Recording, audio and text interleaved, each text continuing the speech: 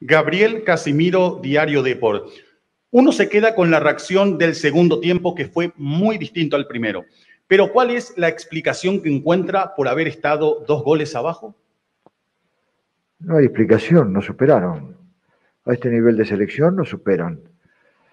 Eh, a, veces tiene, a veces tienen control eh, la selección eh, a la que enfrentamos, a veces tenemos control nosotros. Los muchachos dieron todo dentro del campo de juego, pero la única realidad es que ejercieron una gran presión y, bueno, a partir de ahí tuvieron sus chances y después, bueno, nos acomodamos en el segundo tiempo donde hay que felicitar a los muchachos por la reacción que tuvieron. No es fácil tener una reacción como la que tuvieron estando cero abajo con una selección como la, de Ecuador. Carlos Llanos, Semáforo Deportivo. ¿Este resultado cree ya clasificó a Perú a cuartos de la Copa América?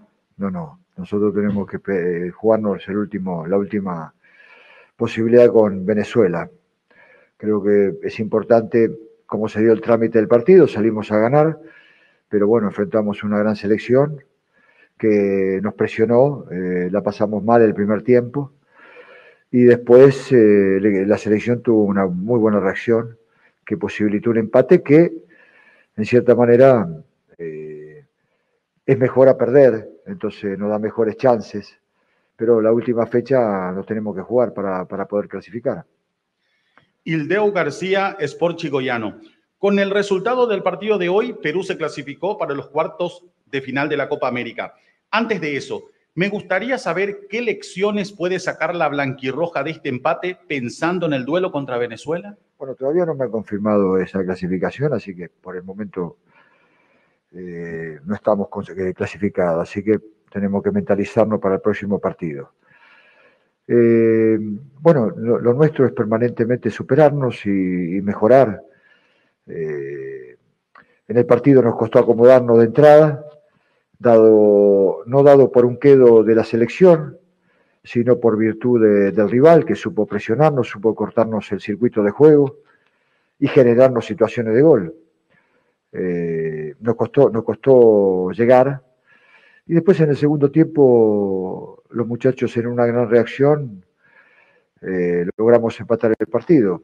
Después en el desarrollo Ecuador se jugó, eh, con los cambios tuvo también posibilidades de poder ganarlo, nosotros también tuvimos posibilidad de ganarlo en un par de contras. Parece que resultó un partido con dos selecciones que se la jugaron y que me parece que fue atractivo en, líneas generales.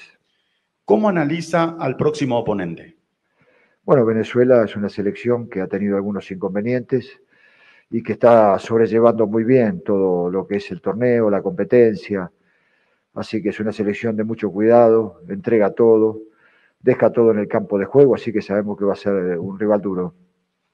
Profesor, muchas gracias por su tiempo. Bueno, si me permite, quisiera eh, esta reacción, aunque no un triunfo, a, la gente que la ha pasado mal, eh, tenemos entendido a través de, del sismo en Perú, y que bueno, deseamos una pronta recuperación de todo, así que queremos dedicarle esta reacción que tuvo la selección a ellos. Ojalá que por lo menos haya, los haya puesto contentos en cierta manera. Buscábamos un triunfo, pero no pudo.